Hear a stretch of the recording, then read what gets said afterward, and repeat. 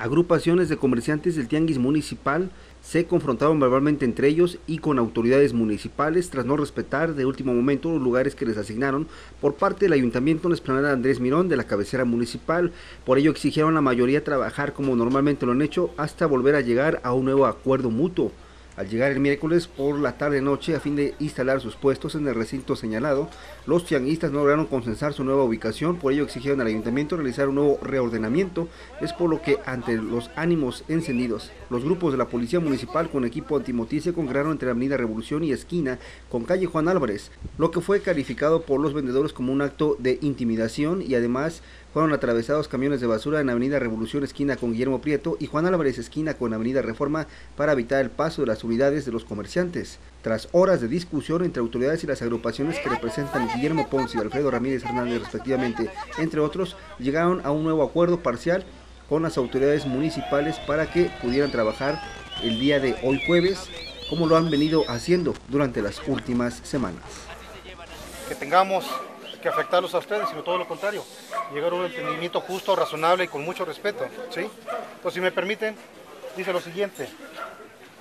En Tlatoquitepec, Puebla, siendo las horas, falta poner, del día 30 de abril del año 2014. ¡No se escucha! ¡Cállense!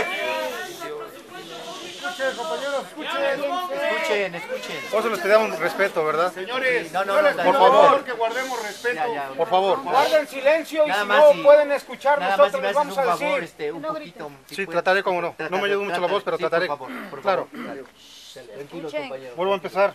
En Tlatlauquitepec, Puebla, siendo las horas X, ahorita les vamos a poner, del día 30 de abril del año 2014, reunidos en la calle Revolución y Juan Álvarez, los representantes del Ayuntamiento 2014-2018 y los representantes de los tianguistas de los días jueves, eh, con el motivo de dialogar, tomar acuerdos y establecer compromisos con la finalidad de ordenar las actividades para llevar a cabo un ordenamiento de la venta y establecimiento de los espacios. Por lo antes expuesto, se establecen los acuerdos siguientes por este único día jueves.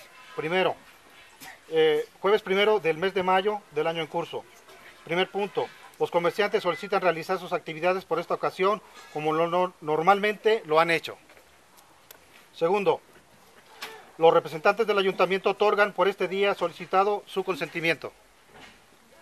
Tercero, los comerciantes se comprometen a reunirse y tomar acuerdos sobre el proyecto de ordenamiento propuesto por los representantes del ayuntamiento. Cuarto, con la finalidad de que ambas partes compartan la responsabilidad de, un reordenamiento, perdón, eh, hacen este documento para llegar a un fin que a todos convenga. Quieren trabajar en armonía con ustedes, Nada respetando ahorita- su derecho de trabajar, nada Tenemos más. armonía, lo que pasa es que ahorita ya los, los carniceros ya se atravesaron. El, Tienen el- su el lugar ingeniero. Carlos. Car- Ahí está Mario, mira. Ellos tienen Sí, su lugar. sí, pero me decía el ingeniero que va a hablar con los señores este, carniceros para que acepten ello. este acuerdo. Pero nada más que vaya este. Todos tienen sus lugares, no sé por qué sea la pelea, ni sabe cuál es la pelea de que vinieron a dar lugares sin autorización de nuestros líderes, sin autorización de la gente que nosotros ponemos a los líderes, no tenemos comunicación absolutamente de nada. Hay gente de Tlatlauqui que llega aquí y está preguntando, oye, ¿cómo nos avisaron? Que ni siquiera sabemos absolutamente nada.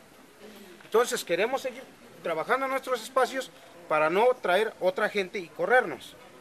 Partamos del diálogo. Nosotros siempre hemos No hay respetado- inconveniente por ello. Siempre hemos respetado. Parece bien nada más si nos hacen el favor de decirle a los carniceros que. Posteriormente dialogaron en base a las propuestas del ayuntamiento y de los comerciantes de zapatos, frutas y verduras, así como comida y carnes para establecer el reglamento final en la esplanada Andrés Mirón en cuanto a la presencia de la fuerza pública. El titular de la regiduría de gobernación dijo que fue por cuestión de seguridad, mas no para intimidarlos.